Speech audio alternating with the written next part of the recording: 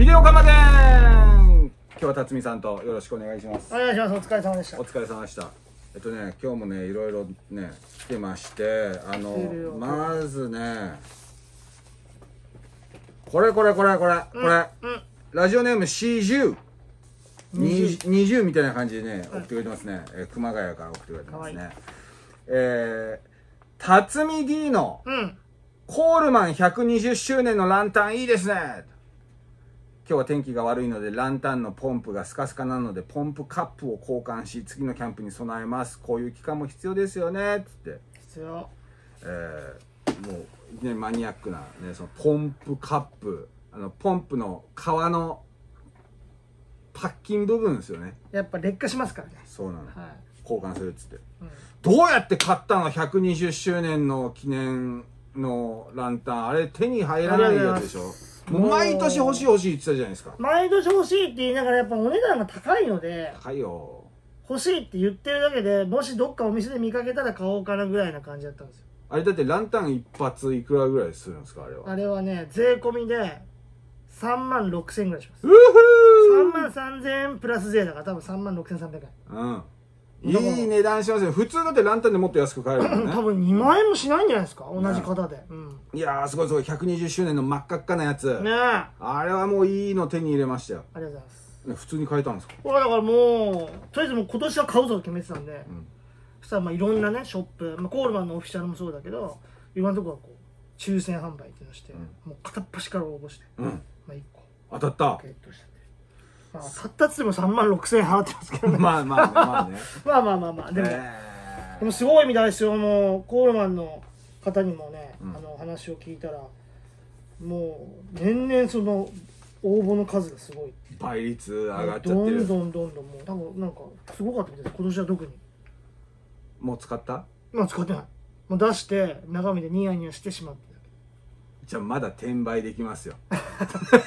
でもそれね僕本当に言いたいんですよ。僕がねシーズンランダーを手に入れた一つの理由はもうもう転売を撲滅まあ僕僕一人で撲滅できないけどもう許せないんですよ。だってもうコールマンにお金入んないんだから、そうだねそうだね、うん。もう転売とかいっぱい出てんでしょきっと。多分ね僕見てないですけどそっちで買うつもりないからうん。見てなかったけど多分もう6万とか。いやーね。倍倍にはなってます絶対。やだね転売はね、ほんと大事にしてくださ使います。いいやーちょっといつ日が入る今のか、ね、月キャンプしたいんで使います、初めてのガソリンランタン、そうなんですよ。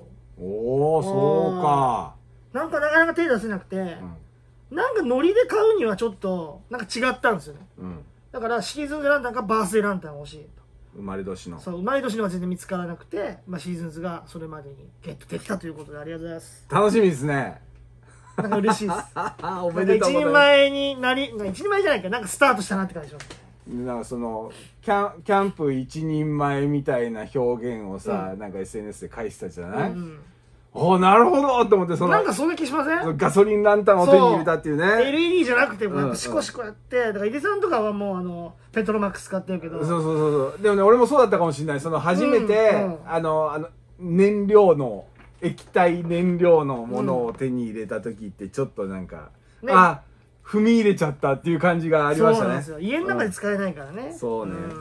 おめでとうございます。ありがとうございます。四十さんありがとう、えー続いてもねちょっとマニアックメールなんですけどもね埼玉のキャロうんえーすごいタイミングでエフェクターのニュースです。ファーズのニュース。あの、岩下の新生姜うんの社長が、エフェクター作っちゃいました。おえむえー驚いたのが昔からロック好きが高じて皆さんに楽しんでもらえるものを作りたいというところから制作されたようです。このタイミングに探求心の詰まった一品。体調の意思とリンクしたのでメールしました。僕がエフェクター作りハマってるのを知って、うん。こういうのもありますよって言ったらあらかわいいね。これね、エフェクトベーカリーっていうメーカーがあの、岩下の新生姜とコラボして作ったっていうニュージンジャーファズだそうです。名前かっこいいですね。新生姜ファズ。新生姜ファズ。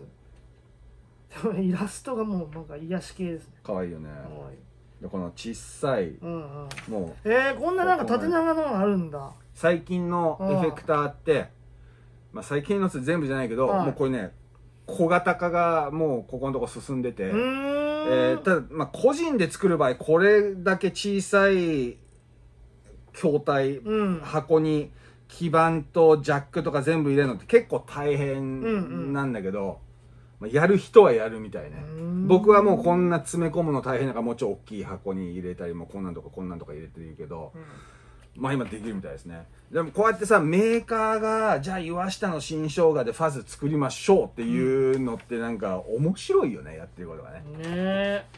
でなんで今だったんだろうね。社長ロック好きみたいでさっきツイッター見たら社長がこれを使ってパープルヘイズ弾いてました。うっそじゃあギターも弾けるんだ。ギター一生懸命弾いてましたね、うん、あのロック好きっていうのが分かってすごいなんか「おい社長いいよ!」っていうそういう、いいっすね。うん、新生姜ファズいいね。マンケーブにゲストで呼んでください。本当だよね。エフェクター対談本当だよ。僕の作ったファズもちゃんとファズの音するしうーん。楽しいですよエフェクター作るのあのまだね自分の YouTube とかでもそのエフェクター作りましょうみたいな動画はアップしてないんだけども、まあ、結構いくつか作ってるからもねそうだう、よね、うん、だからだいぶ作れるようになってきたんでいずれそういう動画もできたらななんて思って販売しちゃうかも。ねえ。買ってくれますか？販売したら買ってくれますか？買ってくださいよ。コメントに書き込んでください。お願いします。お魚エフェクターいいね。魚のアイコンで。いいかもマダイファズみたいな、うんいいかもいやいいね。いいね。ないもんね。うん。ピンクないピンク色のマダイファズ。あいいこれピンクの新生姜だけど。タチウオのシルあバーやばいディストーションとか。ああタチャキチャキのう。わーやばいね。いいね。いいでしょ？いいね。盛り上がる。赤むつディレイみたいな。うんいいいいと思う。やべえそれ。いいなやっちゃうかもしれませんね。うかもしれないえー続いて質問メールキクうん。女性の方ですね。ありがとう墨田区墨田区から。最近釣りを始めたんですが先日初めて若洲海浜公園に行きました。何かわからないちっちゃい魚がちらほら釣れただけだったのですがリールの使い方が少し分かって勉強になりました。が私たちが持っているクーラーボックスは主人の市場の仕入れの時の水色の大きなものだけとご商売やられてるああなるほど。はい海釣りの時は気にならなかったのですが若洲海浜公園で小さい魚を釣って帰るには少し大きくうん。持って持ってるのも恥ずかしいので小さいものを購入したいのですが皆さんはどのくらいの大きさのクーラーボックスを使ってますか？新しくクーラーボックスを買ったらザバンステッカー貼りたいです、うん。あのまずこの市場の仕入れの時に持っていくクーラーボックスの大きさがどのぐらいなのわかね。さっぱりもう見当がつかないけれども、うん。まあ仕入れっつっていうかまあいろんな魚入れるまあまあこんぐらいあるのかな、この付けぐらいあるのかなそれはないか。いや、こんな大きないだ。けど、まあ、でもこんぐらいあるんじゃないあーその、マダイ買いました、入れる。マダイなんてこんなでかいじゃん。小さい魚を持って帰るぐらいだったら、まあ、小さいクーラーボックスでいいでしょうね。うんそうですね。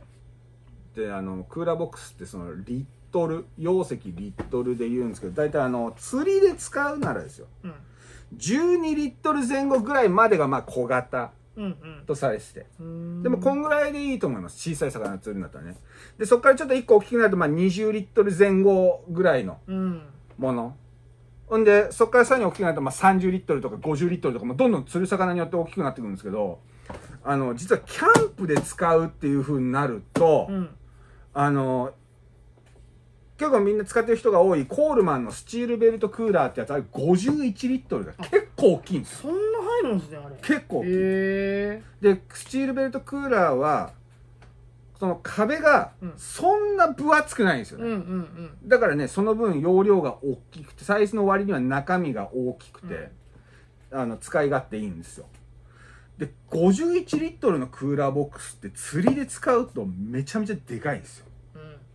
うんで、釣りで使う場合って保冷力がやっぱもっと必要である方が安心感あるので、やっぱそれなりに壁が分厚くなってくるんで、51リッターって、まあまあでかいですよ、釣りのクーラー。だからキャンプでも釣りのクーラーボックス使えるけど、小型の魚用のクーラーボックスっていうのはキャンプ持っていくと意外と入んないかもね。うん小さい。あんま見ないですねキャンプ場で釣りのクーラーボックス使ってる人いるにはいるんですあよ。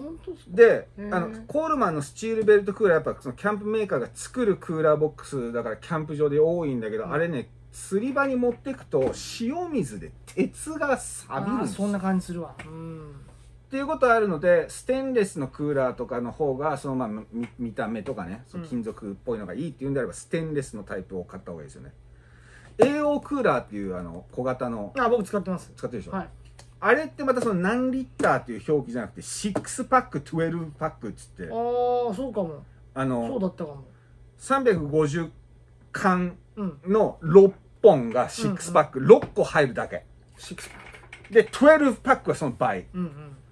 でまたそれが24パックだったりとかね、うんうん。こうどんどん増えていくっていう書き方なんだけどねあのクーラーボックスは僕本当思うんです。僕いっぱい持ってますけどクーラーボックス買う時って収納が大変なんですよ。クーラーボックスの隣にクーラーボックスを並べると非常に無駄なんで。うん。できればなんですけどクーラーボックスの中にクーラーボックス入れられるその入れ子のサイズで買えるおとーなるほどね。素晴らしいんですよね。うん。だから僕のクーラーあのスコールマンスチールベルトクーラーの中にはシマノの釣り用の1個小さいクーラーボックス入ってます。うーんこれがねじゃん邪魔うまくいかねえと。邪魔なんだなるほどよね。ね僕もだって最初のクーラーボックス井出さんにもらいましたからね。あれ何リッターぐあれはね小さいです。あの転がし用のやつで。らいキャスター付き多分のね12リットルとかじゃないですか？この？うん。ち調子いいっすよ。もちろんそのなんか30センチのマダイとかついちゃったらちょっと入れのタイムかもしれないだからねあの大は小を兼ねるんですけど、うん。でも小さい魚だったら大きいクーラーはもうあの氷使うばっかだしね。そっかそっか。やっぱ適した大きさっていうのはあるんでやればやるほどクーラーボックス増えてきます。まあ3つ4つ、うん、うん。だ小この方は小さめを買われた方がいいってことですね。12リットルぐらいがいいのかな。うん、そうですね。僕そう思いますね、うん。あのーワカサギ釣り行った時にうんうんワカサギなんてもう100匹釣ってもこんなもんじゃないですか。すね。だからあの釣った時に「おい井出さんあクーラー持ってないの？俺のあげるよ持って持って帰って」って言われてこんぐらいのクーラーボックス小さいやつうんうん。くれるって言ったんですけどちょっともうもう増やしたくなかったんで気持ちだけありがとうございます。いただかなかったです。うん。もうクーラーボックスこれ以上で増やせない。家にあるからねもうこれ以上は増やせません。もう超いっぱいある。ちょっと待って今なんかフラグが なんか買うつもりですかまた。もう無理です。クーラーボックスもうもう処分したいぐらいクーラーボックスがあるんで。そうなんですよ。これは。いやもう大変です。こちらもマニアックメール。何百名ありがとうございます。孝太郎のパパ。やっと梅雨らしい雨の降り方になりましたね。我が家では屋外飼育しているメダカのゲージ大小30個あります。え？すごいね。めっちゃメダカかってますね。水槽30個ある。えー梅雨時期に大変なのは水位の調整です、えーゲージにはオーバーフローの穴もついてますが雨の降り方では水面張力が起きてしまいます。そうなると大変な自分。稚魚たちが駐車場の土間で泳いでます。でも溢れちゃって。あらららえー大きい雨粒でメダカが弾き飛ばされてゲージから出てしまうこともあります、そうパシャパシャやるとこうパチョンって出ちゃう、んんん。えーいろいろ試しました。網を張ったり蓋をしたりしかし過保護な飼育よりもワイルドな飼育の方がメダカの発色もいい。形もいいんです。梅雨が終わると暑さ対策です。今年は気合を入れてオロチダルマメダカを作りたいと思ってます、えーメダカも大量繁殖できるように選別作業の時に汗を拭きたいから大量バタタオル欲しいです。うん。残念ながらちょっとこのカマゲンなんでプレゼントはないんですけど。今日はねはい。全然わかんなかった途中から。30金魚しか買ったことないんでよくわかんないです。金魚の水槽30個想像してください。置く場置く場所がまずないです。だから外に置くんです。ベランダ。ベランダがね。で雨降るたんびに出ちゃうこれはねーうん。これちょっと僕この趣味手出したことないですけど完全に外野からの意見言いますけどあんたが悪いです。始めちゃったのが悪い。ああそうね。買いすぎだよね。しょうがない。うん。ねあの水槽2つぐらいにしとけばよかったのに。うん。30個よく出しちゃったからどどうなっていくんでしょうやっぱいろんな種類が入ってるってことなんですかね。メダカのその全部違う種類入ってるオロチダルマとかね。そう全部違う種類でで希少なメダカを増やすと一攫千金になるとああかそうか。売れるんだ。1匹何千円とかおおなったりするんですよメダカおはーいいですね。もっともっと高いメダカもできたりするみたいなんですよ。うん。だから僕もあのファズいっぱい作ろうと思っておお。そこでベクターの話になってくる。ゲルマニウムトランジスタをはい。今うちに30個ぐらいあるんですよ。同じ数ですね。水槽と。嫌な予感しますね。僕が悪いんです。嫌な予感するな。僕が悪いんです。すいません。ディレクターまみれになりそうだな。すいません。僕が悪かったです。えー、以上です。僕が悪かったまあでもいいよ。マニアックな方がいいですよ。楽しいですよね。ビデオカマゲンでした。ありがとうございます。